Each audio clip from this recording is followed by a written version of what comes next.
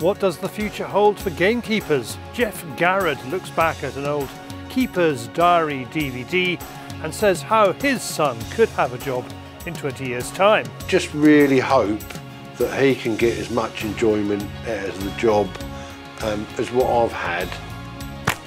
So smart it needs a dress code. We visit the stunning woodland setting of the Sussex Catapult Club, where Wayne Martin shows us how to set targets and build a score. And it's here full time for members, it's not like a, a set up and take it down thing, it's literally a full time catapult ground, dedicated catapult ground. We are giving away a Reolink solar powered trail cam which lets you watch your wildlife on your phone, plus a pair of tickets to Gin School. Yes, they teach you how to make gin, together priced at £450. We have news, we have hunting YouTube. Welcome to Fieldsports Britain.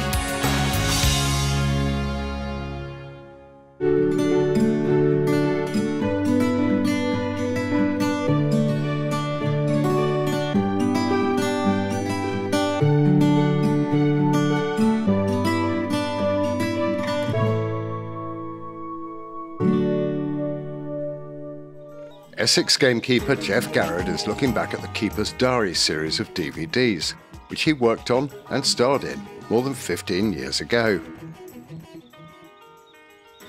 By feeding daily at regular times, the keeper whistles up birds who return to the main feed drive. Now this one um, was the original um, start of Keeper's Diary. This is the one that John Pyle made. Um, he basically took a camera with him for a whole year and filmed the life of a gamekeeper. Considering John being a full-time keeper and had very limited experience with a camera, I thought he made a fantastic job of it. And um, that was probably the beginning of a friendship that has lasted right through to today.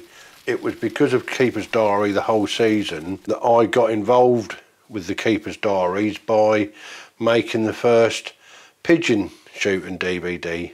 This is just a year in the life of a keeper. Simple as that. Building and repairing release pens is one springtime job that's still very much part of Geoff's working life. We coincide with the, um, getting the pens ready while we're doing our like uh, our main predator control. So sort of May, you know, April, May time. Also when the cover's down a lot more, you can see what you're doing. So we go out when we're on our predator control um, time of year. Um, everything that we've got out set, you know, they're all checked, and then once they're checked, then we can got other things to do. So the pen work then becomes uh, the, the work during the day, um, and we get that done so we know that job's all done. So when it comes to birds going in the pens, a week before we know they're coming in, we just finalise, trim the rides, get the hoppers in, put the food in, make sure the water, the header tanks are filled up, and um, away we go. The problem is, is that the pen only looks at its best the very next day after you've made it. Because once you've made it, every single tree that you think is going to last forever will either come down or shed a bell or come through in the, in the wind and it will go through your pen guaranteed it'll go through your pen. And, and this year's been no exception with, um, we had quite a bit of wind early on, uh, sort of February time, um, uh, and sure enough, you know, most of the pens have had some sort of damage. Um, one of the pens, um, it decided to miss the wire, but go through, like I have a driving gate. So this big ash tree decided um, to go right through between the two telegraph poles that were holding the gate up, smashed the gate to smithereens. So we had to repair the wire either side of the gate and and then I had to go and make a brand new gate. Um, so you know with all the cost of wood etc. Um, and then obviously once we'd uh, we'd made the gate, we then had to uh, take it up and and fix it on. You know, so I think most pens um, this year I've had to do some sort of repair work to them um, for that for that reason basically because you know trees and nature always go against the pen and if they're going to come if a tree's going to come down it'll come down through your wire.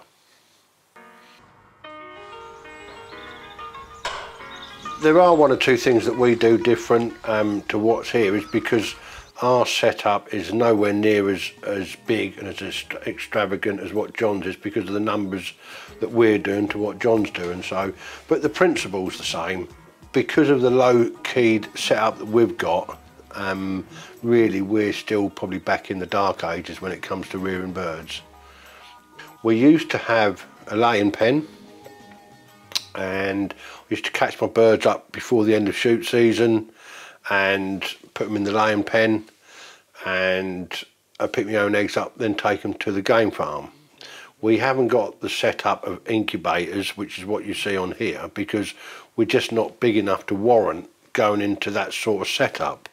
So, um, so I was catching hen birds, putting them in a pen and taking the eggs over to the game farm and then they would just basically credit the estate with the money and then when we got our poults off them.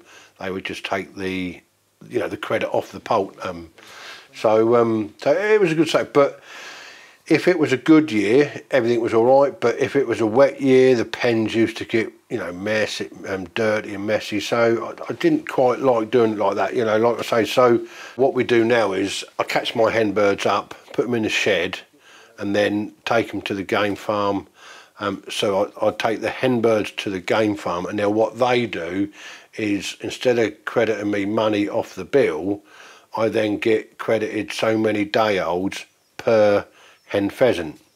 So which is, it's better for us really. Um, so we take X amount of birds down, they give us X amount of day olds back. So this is this is the day olds that we rear on here. So we rear these up to poults and then we make up with poults from the same game farm for the rest to top the order up, to top the birds up that we need.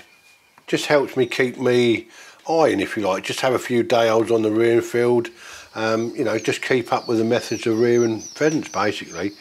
And then sort of like um, midway through the year, um, we'll then get the rest of the order in poults from the same game farm.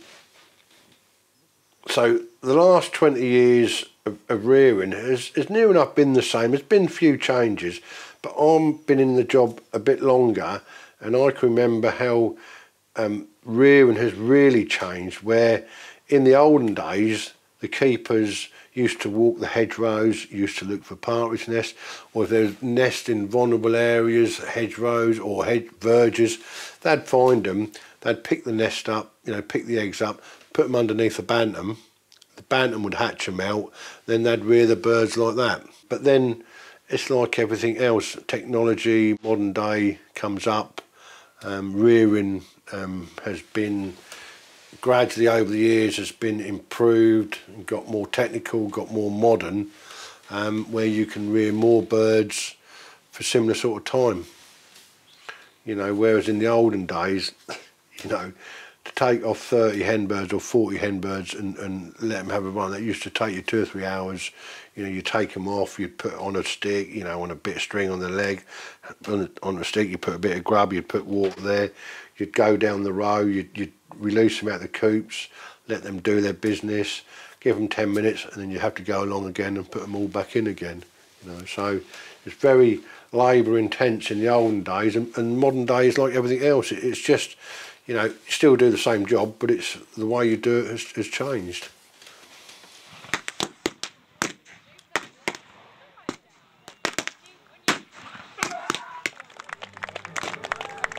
So all John's doing here is, is just having a bit of a social, you know, a little bit like we, we did with the clay shoot. Um, John's putting on just a barbecue, um, hog roast, um, just for all the people that help help the shoot through the year.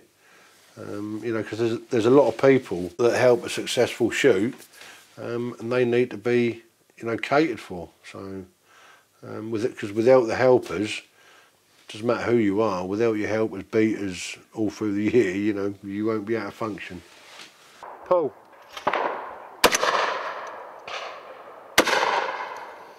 Can't hit that seabird. I've, I've set a clay shoot up, a 60 bird clay shoot raising funds for the National Gamekeepers Organisation, which I'm, uh, you know, a very big part of. We're on, on our place, my place where I work. Right behind us here is the pool shoot. Um, I just shot it, not too bad, although I didn't hit the seabird. Really, we're just here make raising money, but hopefully giving everyone an enjoyment of coming out, taking part in a, in a nice close shoot. The weather's absolutely fantastic, uh, and we couldn't have better settings. So really, you know, as part of a keeper, um, raising funds for the NGO is one little job or one little um, part that I do take seriously, and the more we can make, the more money we can help.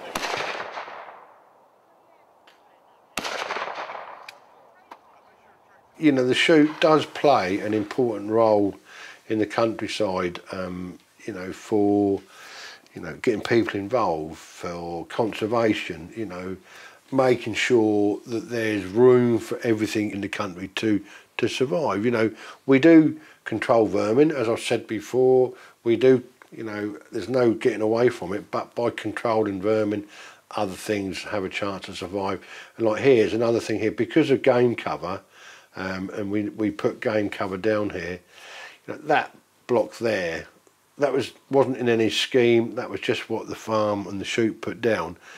Well, there's tons of food there, you know, and that's going to keep a lot of birds through the winter time. A lot of wild birds, you know, songbirds all the way through the winter time. The principle of of the the job is still the same. You know, we're we're rearing um, pheasants, game birds. We're protecting the wild game um, for shoot days. There's, that's it. That's the bottom line of it. But um, legislation that are coming in um, from from Europe, from the government. Uh, these are the things that are changing, that have, changed, like um, antibiotics, Emtryl, you know, drugs that have been banned for, for very good reasons. Um, you know, these are things that make the job not harder, but make you have to work that little bit more. And, you know, rather than cutting corners, you have to do the job properly um, which is not a bad thing. There's, there's lots of changes nowadays that are coming into force that have been put upon us that they are a good thing.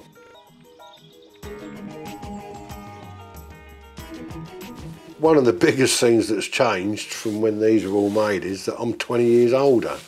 Um, you know, and, you know, I've got a few more years left in the job. Hopefully I'll get to the end of it. Um, you know, I thoroughly enjoyed my time as a keeper. I've been very lucky, met some fantastic people, but the job moves on. You know, so so now, um, you know, I'm fortunate that my son Justin, um, he's he's a gamekeeper. He works with us on here. He's the beat keeper on here. He's got his own beat, um, and you know he rears some of the birds as well. He looks after some of the birds later on. Um, and it, it, from, a, from my point of view, it, it's great that I can see my son coming up and following me in my footsteps. And, you know, I, I just really hope that he can get as much enjoyment out of the job um, as what I've had. And I hope the job carries on to see him through to the end of his career. Thank you, Geoff. Now, from the reminiscences of an old man reaching the end of his career to David on the Fieldsports Channel News Stump.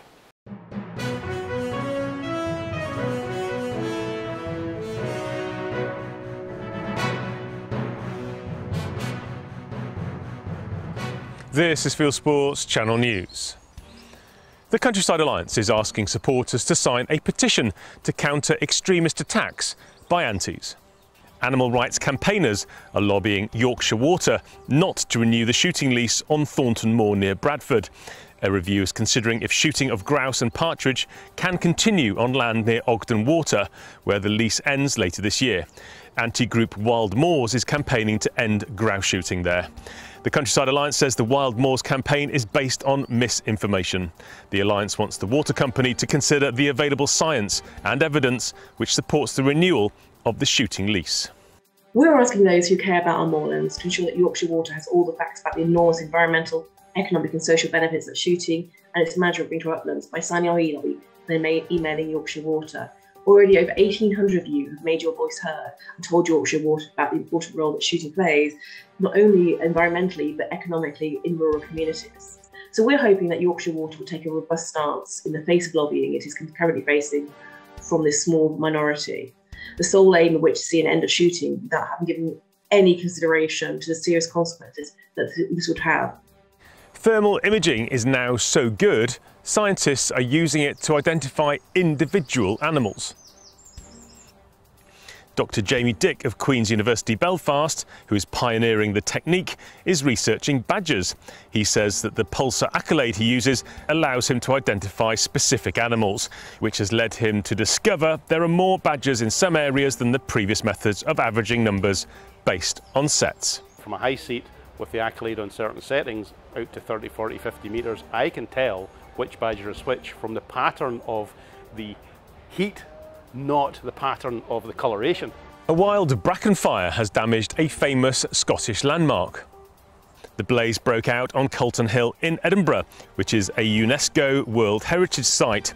Edinburgh City Council manages the area and had allowed the gorse to grow to the point it was a fire risk. The Bracken Control Group says if the vegetation isn't managed, there's a higher risk of fire the biggest threat really from that sort of incident is on the sort of rural urban interface where you've got lots of people, lots of property, lots of activity. Uh, and that is a very high risk. Bracken has a, a, significant role to play in that sort of situation as, as an important fuel. Government vets have ruled out a suspected foot and mouth outbreak at a pig farm in Norfolk. DEFRA enforced a 10 kilometre temporary control zone at a property near Thetford Forest as a precaution. A major outbreak of foot and mouth disease in 2001 led to the destruction of 6 million farm animals. The number of deer in England has risen to 2 million. The Westminster government's Deer Initiative says it's the largest number since the Norman conquest in 1066. It believes that the deer population exploded during the pandemic and estimates that numbers have doubled since 1999, causing more than £4 million worth of damage to crops each year. There are media reports that ministers are paving the way for farmers to receive grants to shoot more deer to control the numbers and provide meat. A new consultation suggests the public sector should consider putting more venison on their menus. A Highland estate has had its general licences revoked for three years. Nature Scot says it made the decision against Moy Estate near Inverness based on evidence provided by Police Scotland of wildlife crimes against birds, even though there's been no convictions since 2011. Nature Scot pointed to a poisoned red kite found in 2020 and alleges there are incidents in relation to trapping offences. The estate says it's extremely disappointed by the decision and is considering an appeal. Moy Estate hosts the popular Moy Country Fair in August, a celebration of field sports that makes it a target for antis. Gamekeepers in Perthshire are being subjected to relentless online abuse after police appeal for witnesses over the death of a golden eagle. The Scottish Gamekeepers Association is criticising the police's handling of the incident. The SGA's Alex Hogg claims insensitive public messaging led to individuals becoming the target of online attacks. Two gamekeepers found the carcass of the bird in a wood near Dunkeld. Tayside Police issued a statement saying it was committed to investigating any criminality relating to the death of such a raptor. This led to public suspicion towards estate staff and their families, including child at school. Tests revealed the bird died of natural causes. Meanwhile, Dorset Police is reviewing its investigation into the death of a sea eagle. Following pressure from Antis, a senior detective is reviewing the case.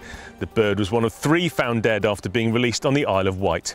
The eagle was found dead in North Dorset in January. Tests revealed its carcass had high levels of rat poison. Police stopped the investigation in March as officers couldn't confirm if there was a deliberate attempt to kill it. The RSPB led a campaign to force the police to review the evidence, including a film item on BBC Countryfile. A new study shows that buildings and power lines are leading to a decline in migratory birds. Research by the University of East Anglia claims there's a fall in the number of birds due to how humans have changed the landscape. Satellite imagery allows researchers to map bird journeys across continents. The biggest dangers are wind turbines, power lines, vehicles and buildings. Great Britain has won three golds and a bronze at the first Swiss Target Sprint Grand Prix held by the International Shooting Sports Federation in Lucerne. Callum Fricker and Emily Sawyer won gold in mixed pairs, and both of them went on to win junior men and junior women events. Thanks to Andy McGarty for the story. Johnny Depp has become a patron of a wildlife rescue charity. The actor, these days more famous for his court appearances, visited the Folly Wildlife Rescue Centre in Kent when he was on tour with musician Jeff Beck. He's seen here holding a badger cub on his visit. And finally, we love deer, but not that much. In January, a red deer cull in Kinlochleven near Fort William in Scotland was stopped after some villagers argued that the community should learn to coexist with the animals. More than 20 deer now live there after a lone stag took up residence. Now villagers claim that the animals have attacked people and they want them gone. You are now up to date with Fieldsports Channel News. Stalking the stories, fishing for facts.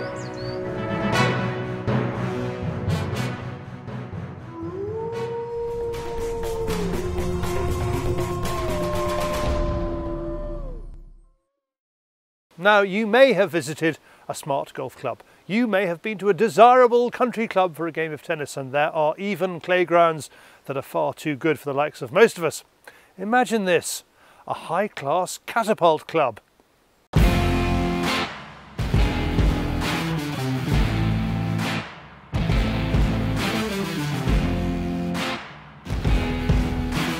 Welcome to the Sussex Catapult Club. Set in four acres of mature woodland, Caddyshack's Wayne Martin designed its latest 30 stand course. It is the standard for the noble sport of catapulting. Oh.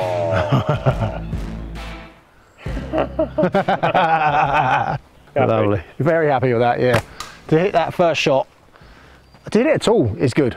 But like I was saying, you know, the 30 mil target at 14 metres, to ping it first shot, or hit it, even hit it in six shots is, um, is, is good shooting, you know. Matt set up the club two years ago and is looking to increase membership, which won't be a struggle. Who wouldn't want to spend time here? This is lovely. This is beautiful Sussex woodland, and you have a catapult range. Yeah, it, it, it's like a little piece of heaven, really. It's a proper club, and it's here full time for members. Um, it's not like a, a set up and take it down thing. It's literally a full time catapult ground, dedicated catapult ground. Awesome. And you've set the targets here. Yeah, I set the targets here yesterday, especially for you. Ah, So yeah, just some variations in, in ranges, heights, sizes, things like that, just to go through maybe some techniques, um, show different shots at the same range but different heights. So yeah, go through a few things. Hopefully that'll help people find some accuracy. Sure. Oh no! What's- What's the name of the club? Sussex Catapult Club. Oh, I mean, you could have thought of something a bit more. Like to just keep Where it is nice it? and simple. yeah, Wales. so that's pretty much. So, where are you based? yeah, exactly. So I've had people ask that actually. This is a labour of love because you've Yeah. made a lot of this stuff, haven't you? Made the stands for the spinners just to make it a bit more professional. We did have spinners and targets sort of hanging off the scaffold bars and stuff, but I just wanted to make it a lot more professional. And then Matt's welded all the discs up. We've got like threads on the back of all the discs so they can be just literally screwed straight into the tree in situ. You've probably got a Yeah. hundred of them, I would think. Uh, well, and they've all been done by yourself. Yeah, I learnt a lot as well, especially in regards to thickness of targets and stuff. I've cocked up. I bought the first lot of targets I bought. I done at 10 mil thick, and the smaller the target, it just didn't ring. So we got a load made up, smaller, thinner discs. So it's about the resonance, so you can hear it. Is that satisfying ding? exactly Sure, that's how you do it. If there's not a ding, there's not a point. So exactly. Ding dong. Yeah. Wayne has designed the Oh, targets shot. to replicate those he faces while hunting rats, pigeons, squirrels. So we've got like a small squirrel type target at the base of the tree, probably around 17 metres, I would think. 40 mil target. Yeah. Are you drawing on your own sort of hunting shots that you've taken then? Yeah, to a certain extent, yeah. Okay. I mean, you, with a catapult, you can. It's not like a shotgun or a rifle. A catapult, you can shoot something at three meters if you get the chance. You know, it could be a rabbit stuck stuck up in the bush at three meters away, sits there. You know, you, you've got to be prepared to take that shot as well as a 20 yard shot or 20 meter shot. So it's about variety, variety of heights, ranges, like I say, and replicating. I think what you would see in, in a hunting scenario. Oh, what a shot! How far away is that way? That's 20 meters, 21, 22, something like that.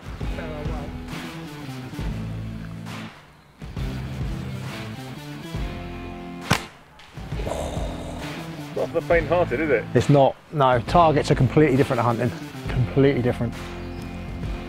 You know, people will watch it and say, "Well, you missed." I think what we need, to, what people need to look at is we're using catapults here. You know, there's no scope, there's no rest, there's no zero as such. You know, every time you're re-zeroing on your face, and to miss a target at 80 mil at 23, 25 meters by an inch, it's still damn good. You know, I think most people would be happy to get shot. within that kind of area with a catapult, let alone hit something consistently at that range. You know. I think they need to pick up a catapult, maybe, Wayne. I think they do, yeah. I mean, obviously, no, no one's saying that you know it's bad shooting at all, but I just want to sort of put it out there that these things are accurate, but they're not a rifle. Do you know what I mean? They're not a gun. They're not that accurate. They, you can't consistently hit something at 25 meters, pinpoint, pinpoint, pinpoint. You can only ever hope to be within that rough killing area. You know. Oh, Oh, look at his face. I will take that. Once again, we get to witness the incredible accuracy and consistency these boys achieve. Here we've got the rat in the ditch. So we've got a shot here that's probably, and this isn't an easy shot, although it's close, it's a small target. It's probably what, seven meters? Yeah, but it's one of these So you it- miss, isn't it? You can miss this so easily. Although you, it should be all day long a given shot, but the pressure of the easier targets really does get to you. Because you know they, they, you should hit them every time.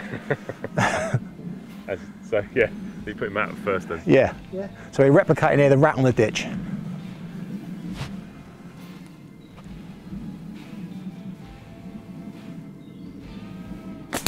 Yeah, and he's put the pressure right back on me. Our most recent outing with Wayne was on Barn Ferrels. He wants to explain how you take a shot on a rooftop pigeon or a treetop squirrel. Right, this is the target I'm going to explain to you about with the heights and angles. So I'll set this up just for you, David. Okay. Right, shooting that target there, which is probably four or five meters away, I'll have to shoot that target there exactly the same as that target right up there, which is actually about 12 meters away. Because the distance of how gravity works, that target effectively is there. If that makes sense. So at 12 meters normally, you may say you have a tiny bit of holdover. Here, here you're not going to have that because it's not going to drop because the, the effect of gravity on it is only over the course of four meters. So although it's 12 meters away, only the effect of gravity from here to there. So it's the same shooting that target as it is that target. Okay. You believe in that? Yeah. Let's see if you. Let's just, just. Shot, oh. mate. Shot. Oh.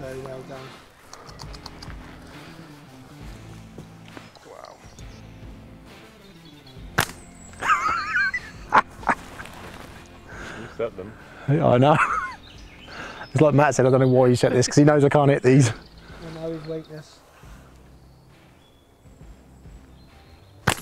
Oh, I clipped that. I'm taking, I'm taking my one point. I clipped that. There's even a nod to the spectacular squirrel shot he made out hunting with Matt Shot. last year. After I'd set it, I really wish I'd actually replicated it exactly. You know, Next time. next time. One thing that's obvious from taking a tour of the course is that it's great to watch, from the reactions of the shooters to their close calls.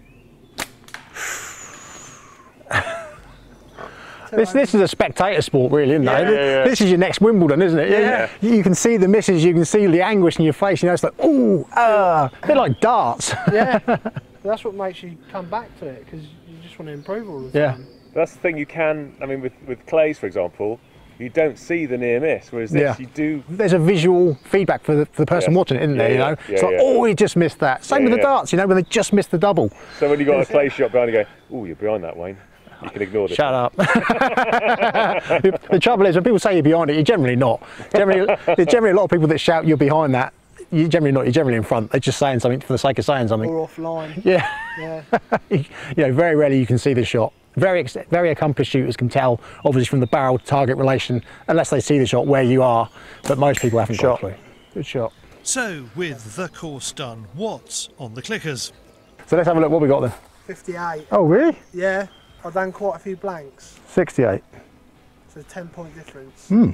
I'm surprised at that. And what did you get yesterday? 69. Ah. but you called me at it. What is it? You said you guessed out of 67 yesterday, yeah, didn't you? 'cause- Yeah, that's what I thought you'd shoot round. Yeah, no, 69 yesterday, 68 today. So, Yeah. so yeah, happy with that. Can't Well done, boys. I think Thank you. it's, it's really, really smart. Really smart. Very proud of yourselves. We love it down here. Obviously, this is this is Matt's doing. You know, I've set the targets, but you know, predominantly this is Matt's work. Matt's and the team's work. Well then, well done, Matt. Lovely. Thank you very much. For more information about the catapult Yeah, range do. that Wayne produces, go to caddyshack.co.uk. If you're interested in joining the very smart Sussex Catapult Club, message Matt on Instagram at Sussex Catapult. It won't be long before there's a waiting list and, who knows, a dress code. Thanks, Wayne. Next, with game birds so expensive this year, how will shoots survive if they can't source cheaper stock or persuade customers to pay? News correspondent Deborah Hadfield looks at how the shooting community is adapting. These pheasant chicks may not be worth their weight in gold, but at current bullion prices, they are worth their weight in silver. Bird flu in France has caused a shortage of eggs and poults. The lack of birds and high prices have already caused many shoots to close. Estates are diversifying to survive. Hawthorne Sporting at Bowhill in the Scottish borders is one of many replacing driven days with simulated game shoots. Stuart Riddle and his son Robert run Hawthorne. and being a fifth generation gamekeeper, and my son's a gamekeeper here with me. Um, it's all we've worked for for the last 25 years, and to lose it all, you know, COVID was bad enough, but this is this is just major, major. Um, I think the biggest problem is that I bought the eggs at the beginning. I bought the eggs because I had 14 driven days sold, and I bought the eggs to give them some shooting, and I've had to sell the eggs because when you sit down and do the sums, you know, you shoot 35% to 40% of what you, if you're, if, if you have a really good season, 35%, then if you think that you're paying more for your bird, so your 60% that you don't shoot is costing you so much money, we can't afford to shoot. Stuart, who's 65, has invested almost £30,000 in setting up simulated clay shooting. I paid for the traps with my pension, which is dwindling very fast. Um, and we're having the first simulated day tomorrow. I'm a little bit disappointed. I was hoping to try and sell one a week to just bring in a little bit of income. What we'd like to do is get into corporate days where we're bringing people from the towns out into the countryside for the day.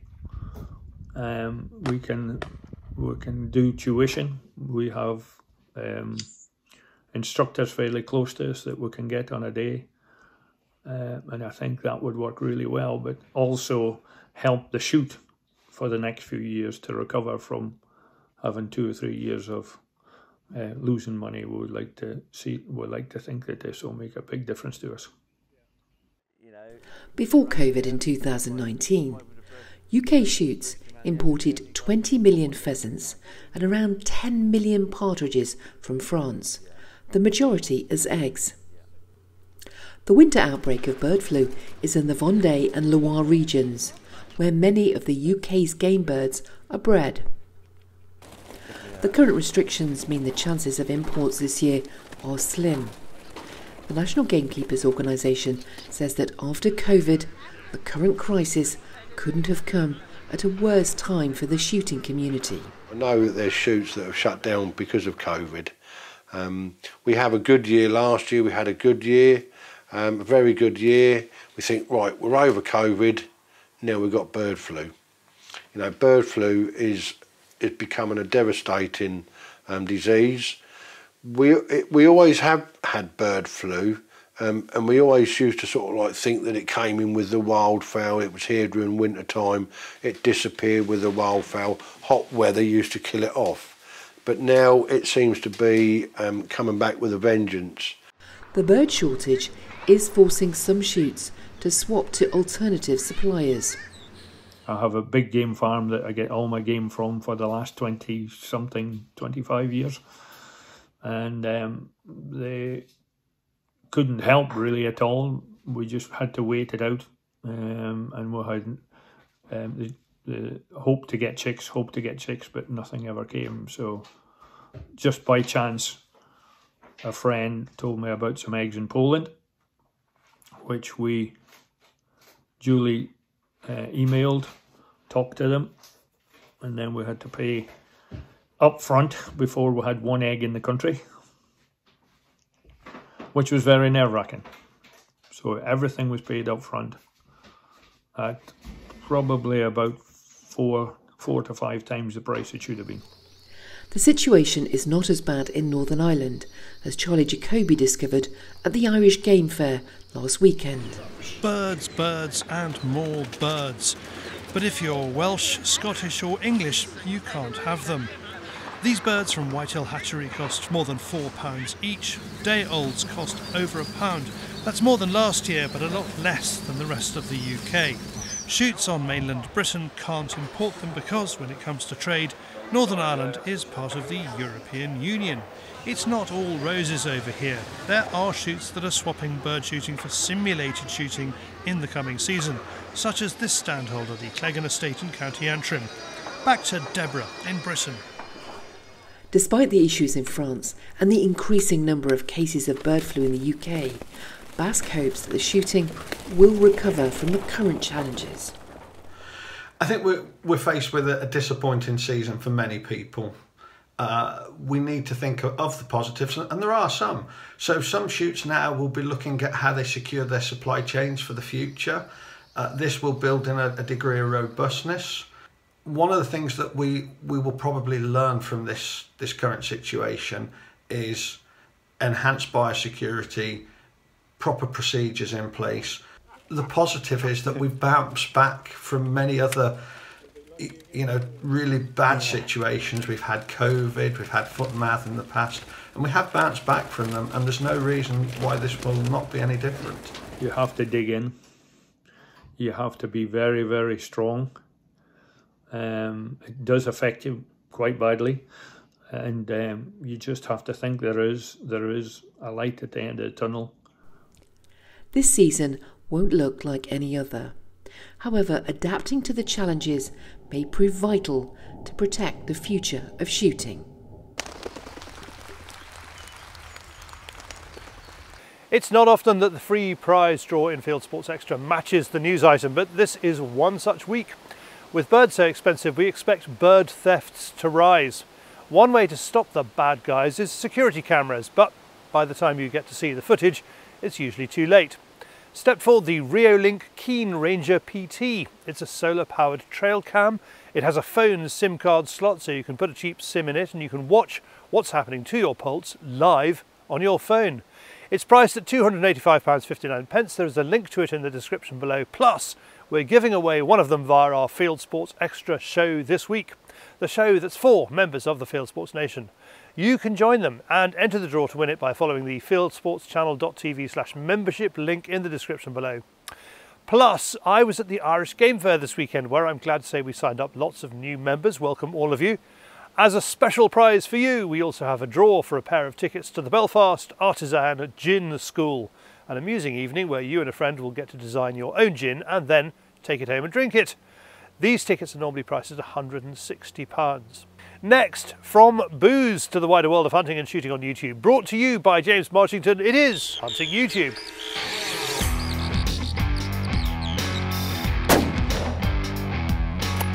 This is Hunting YouTube, which aims to show the top hunting and shooting videos that YouTube has to offer. First up, we've got a timely one from Matt's Country on how to keep your shooting affordable. Thanks to Danny from Silverline Solutions for sending that one in. Proofhouse, the channel formerly known as TGS Outdoors, visit Holt's Auctioneers with Simon Reinhold to look at some lovely examples of fine old English guns made by Boss and Company. Clark Boys Hunting are out at first light on the opening day of their duck season in New Zealand. Holtan Media in the Netherlands also has an early alarm call. They're out flighting geese over decoys. The group make a good bag and their Springer, Stone, is kept busy retrieving. Hunting Masters official from Pakistan are hunting quail with a catapult, then cooking them up on the barbecue. In the latest episode from Canada in the Rough, Keith Beasley fulfills his long-time goal of flighting sandhill cranes in southern Manitoba. Potterek 81 is hunting black bear in British Columbia. They see a lot of bears and have to go after a wounded one with the dogs. It's hair-raising stuff. And finally, Studio 12 has uploaded the classic Pigeon Shooting with Archie Coats and John Batley, copied from the original VHS tape. It's a nostalgic look at two pigeon shooting legends doing things the traditional way. That's it for this week. We've put all these films into a playlist for you. Click on the i symbol top right or check this film's description. If you have a YouTube film you'd like us to pop into the weekly top 8, email Charlie the link, charlie at fieldsportschannel.tv.